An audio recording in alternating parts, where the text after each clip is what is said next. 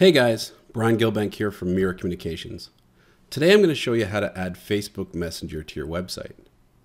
By adding Messenger to your website, you're creating a new way to generate leads and interact with your current customers. This is also great for users who are reluctant to fill out forms, or for soft leads who may be interested in your services. If a user clicks on the Message Us button, they will be redirected to Messenger on the web.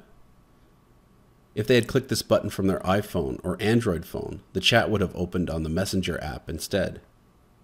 Let's try this out by typing a message.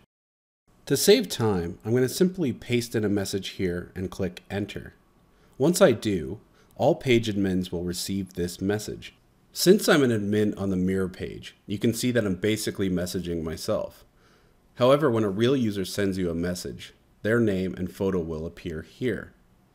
To implement this feature on your website, you're going to need a few things. The first is a Facebook account, of course, and the second is a Facebook page where you are an admin.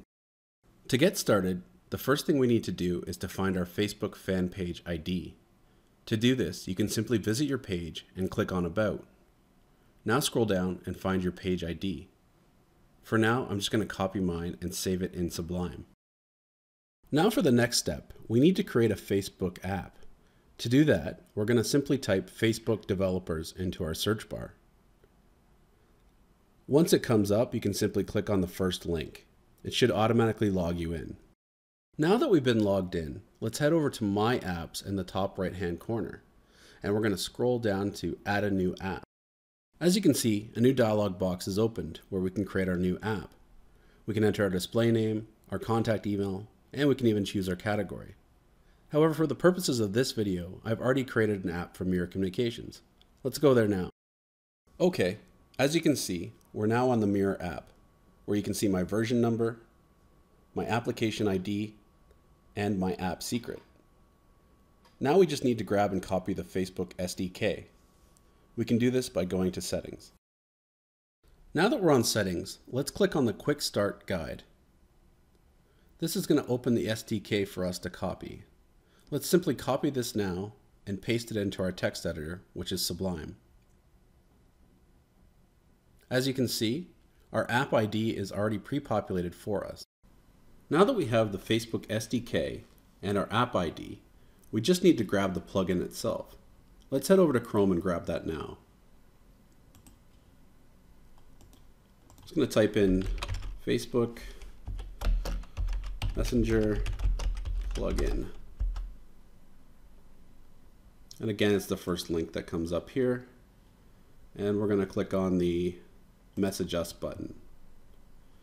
So you can see there's two styles of button, one small, one large, one blue, and one white.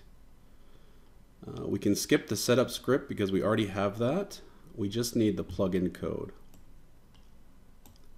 Let's copy that and we'll paste it into Sublime. We'll replace our app ID with the app ID we have here.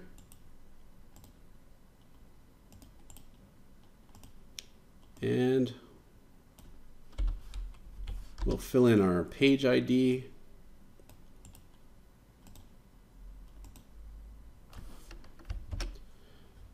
And now we're ready to set this up on our website. Let's begin by copying the Facebook SDK.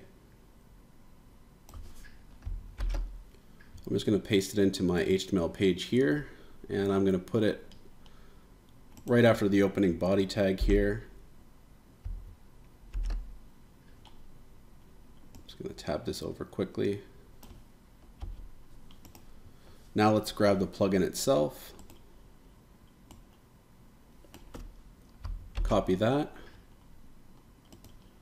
And let's paste it right here. Let me just tab this over again. Now I think I want to change the button color to white.